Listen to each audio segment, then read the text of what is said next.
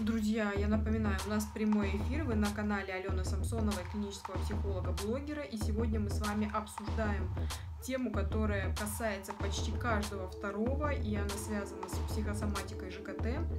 И очень часто вы испытываете какие-то симптомы, которые связаны с, а, например, а, нехваткой чего-то, либо наоборот переизбытком чего-то. А, и это очень сильно влияет на всю вашу систему. О чем я говорю? Вы обращаетесь к гастроэнтерологам, различным врачам, которые купируют вашу симптоматику. Но э, самая важная вещь в этом – это понять и разобраться до конца, почему с тобой так, и, так или иначе происходят те или иные клинические симптомы. Я тебе расскажу базовые вещи, которые действительно помогут тебе раз и навсегда понять, что с тобой и как ты себе сам можешь научиться постепенно помогать.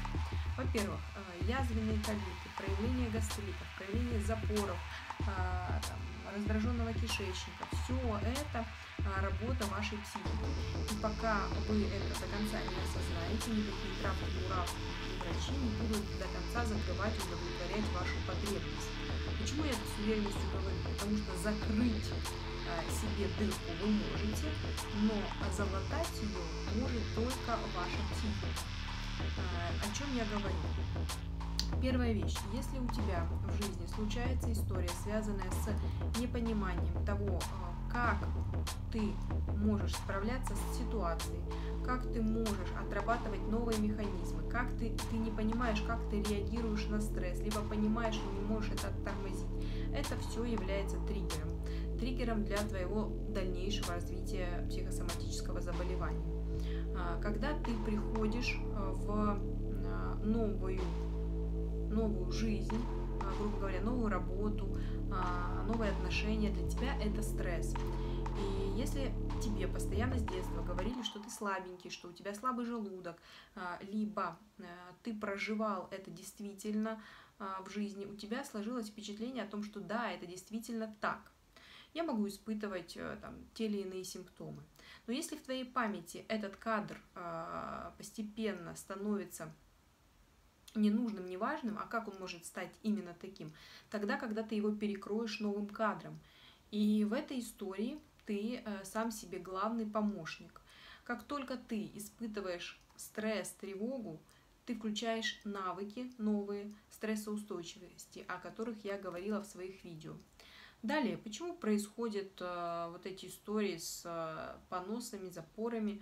потому что вы очень много часто на себя берете, берете какой-то ответственности и напрягаетесь. И эта ответственность создает физическое напряжение в вашем теле, которое переходит в ту или иную историю болезни. А, далее, что для тебя еще важно знать? Важно понимать, а, с кем ты себя идентифицируешь. Во-первых, это человек, который может все. Это человек, который а, ничего не может. Это человек, который зависит от мнения другого. Это вопросы внутренних утверждений и убеждений. И если они у тебя работают достаточно автоматически, и половина из них включается, например, в негативной эпостаси да, против тебя в моменты переживания твоих кризисов, то именно это запускает каскадные механизмы в твоем организме, когда ты сжимаешься. Ведь твоя психика и состоит из напряжения и расслабления. И чем больше в ней напряжения, тем сложнее тебе выбраться из этой истории. Далее. Что важно знать, если у тебя достаточно долгие проблемы с ну, желудочно-кишечным трактом? Тебе нужно до конца, как бы это банально ни звучало, разотождествиться с а, людьми, к которым ты привязан. Возможно, это бабушка, возможно, это дедушка, возможно, это мама, возможно, это твой муж, возможно, жена, которым ты испытываешь э, тягу. И о чем эта тяга? Это тяга о том, что ты не справляешься без них, либо они настолько э, в твоей жизни запечатлены, что э, ты очень часто, вспоминая от них, грубо говоря, поддергиваешься. И если эти люди в твоей жизни играют доминантные роли, э, такие роли подавляющих звеньев, то ты действительно можешь ходить под, э, грубо говоря, дудочку другого человека. Давай я тебе расскажу наглядный пример. А, женщина 30 лет, замужем с детьми, но в ее семье очень много влияла на ее жизнь мать. И как только она переехала, создала свою семью, в ее голове это не изменилось. И когда она разговаривала по телефону с ней, когда она работала с внутренними состояниями со мной, все равно всплывала мать. И сжимался живот. Сжимался живот настолько сильно, что а, действительно это могло приводить к неким спазмам. А, далее, а, что еще является такими провокаторами твоих переживаний? Это резкие смены в жизни, это твоя неустойчивость, это твое неверие в себя и это провокационные факты, очень быстрые изменения, под которые ты не успеваешь адаптироваться.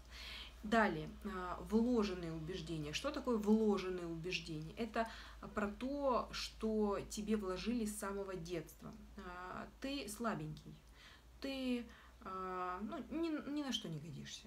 Может быть, у тебя уже семь пядей во лбу, и у тебя дворец, ты построил, ты бизнесмен. Но вот это вот ты слабенький, оно лежит где-то у тебя ниже к тазу.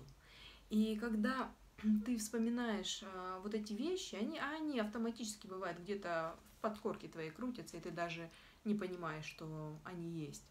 Ты действительно ужасаешься. Далее, что еще может играть? Играть может очень сильно твоя особенность психики. А, твоя особенность психики такая, как возможность адаптироваться под любые обстоятельства. Если ты тревожник, если ты невротик, если ты психотик, э, истерик, это, в принципе, сейчас все имеют э, какие-то особенности. Это не говорит о диагнозах, а говорит о особенности личности.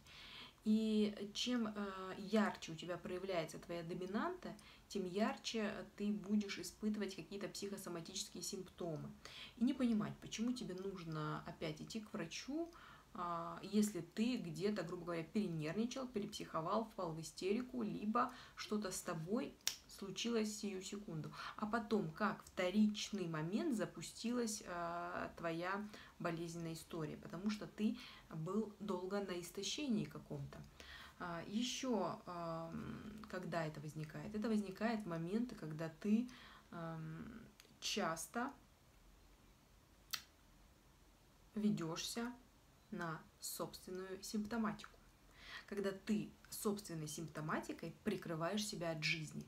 Я не знаю, что, как мне поменять работу, я не знаю, как мне уйти от мужа, я не знаю, как э, мне правильно разговаривать с ребенком. Ну и поэтому я легче впаду в какую-то болезнь, чем решу свой вопрос тем или иным образом.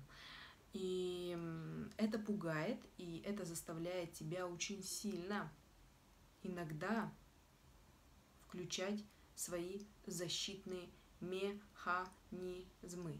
Именно поэтому я очень сильно попрошу тебя разобраться со своими отношениями, с близкими людьми, проработать границы, проработать стрессоустойчивость, пройти внутренние убеждения, вытащить их, проработать, Обычно это делаю в консультациях, семинарах, э, в моих видео ты можешь бесплатно посмотреть.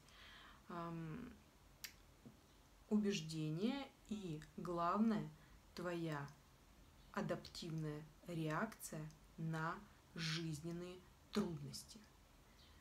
Какая она? Тебе нужно узнать ее. Далее тебе нужно отказаться от механизмов, которые приводят к тебя к повторным а, вот этим симптомам. И самое важное, тебе нужно разобраться с межличностными отношениями с другими людьми. Какие они? Как ты реагируешь? В контратаке а, ты контролируешь, ты пытаешься быть а, звеном главным, ты пытаешься быть серой мышкой, ты пытаешься, чтобы тебя никто не видел. Какой ты, друг? Какой ты? Ты знаешь, какой ты? Иногда мы идем по жизни и не понимаем, какая у нас социальная роль и позиция. И чем меньше мы знаем и понимаем себя, тем больше мы имеем психосоматической подоплеки. А я тебе скажу прямо в этом видео, что ты абсолютно здоров. Если ты понимаешь себя, доверяешь миру идешь своим путем и занимаешься немного своим здоровьем. С тобой была Алена. Пока.